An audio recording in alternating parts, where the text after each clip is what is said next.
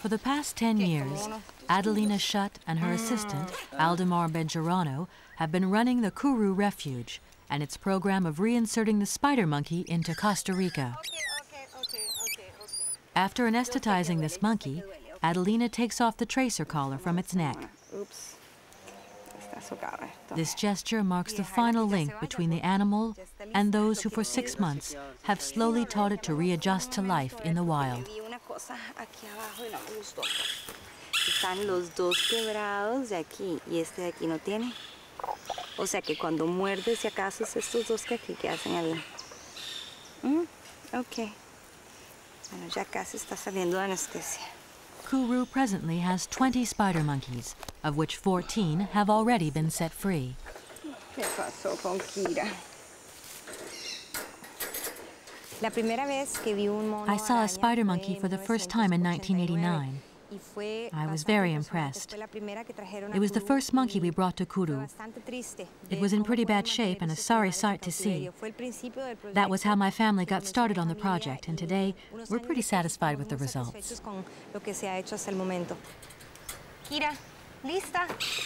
The land at Curú has belonged to the Schutt family for several generations. By creating a refuge for wild animals, Adelina has fulfilled the dream her father didn't have the time to realize. As an endangered species, cited in Annex 1 of the Washington Convention, the majority of spider monkeys in Costa Rica are found in zoos or as pets in private homes.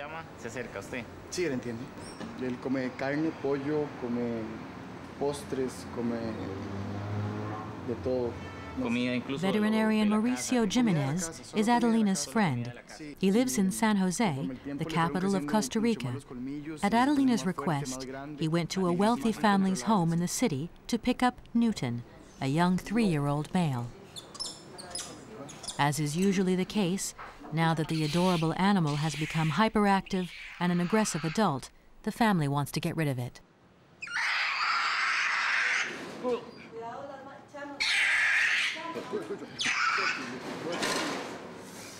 Te- te- No, a mí no, a mí no, a mí no. ¿Usted? No, no, nada más pasó. ¿Lo No, inyectó? Un poco.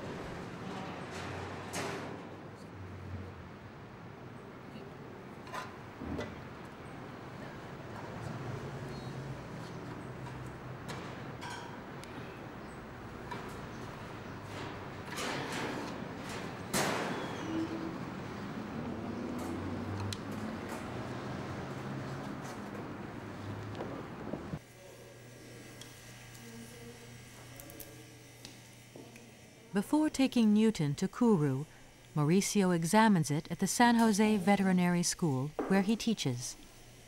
He checks that the animal is not a carrier of any disease which could contaminate the refuge's other animals.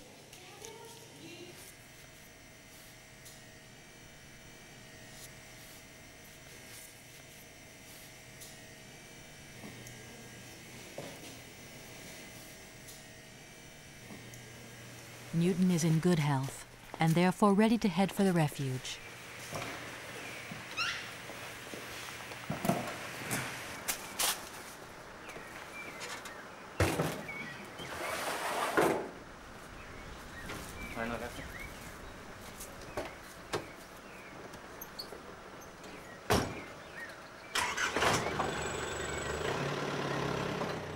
The Curú Reserve is on Costa Rica's Pacific coast, at the tip of the Nicoya Peninsula. Costa Rica is a country committed to preserving the environment. It has 75 protected sites, about a quarter of its territory. This is enormous for a small Central American country with only 3 million inhabitants. Well sheltered at the end of the bay, Curú stretches over several hundred hectares of varied nature. Outside of its pastures and plantations, the domain consists of natural forests, mangroves, and beaches. After more than a day's travel, Mauricio finally crosses the threshold which will take Newton to freedom.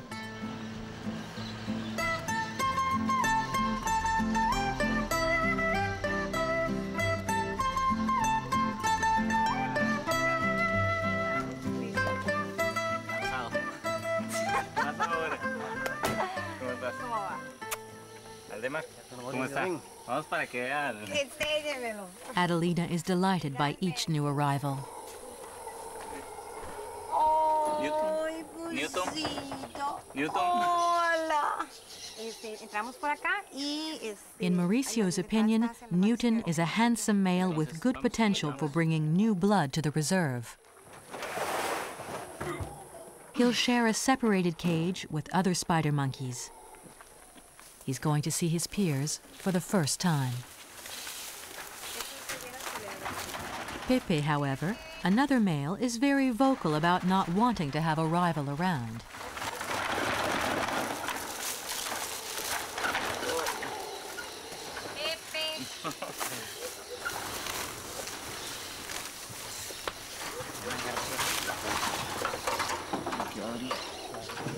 Vamos, vamos, vamos. Eso, eso.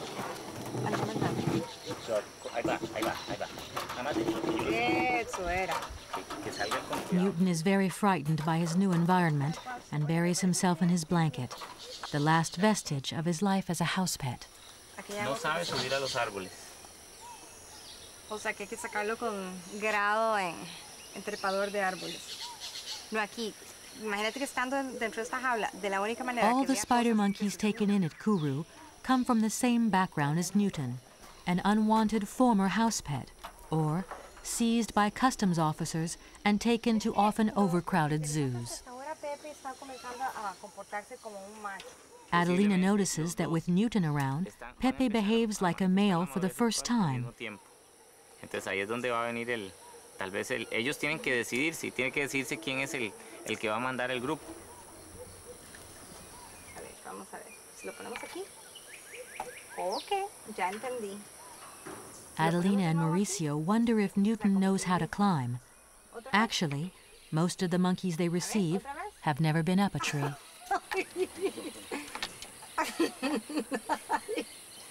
O sea, como quien dice, hasta aquí llegamos, no más juego. ¿Mm? ¿Qué pasó con vos?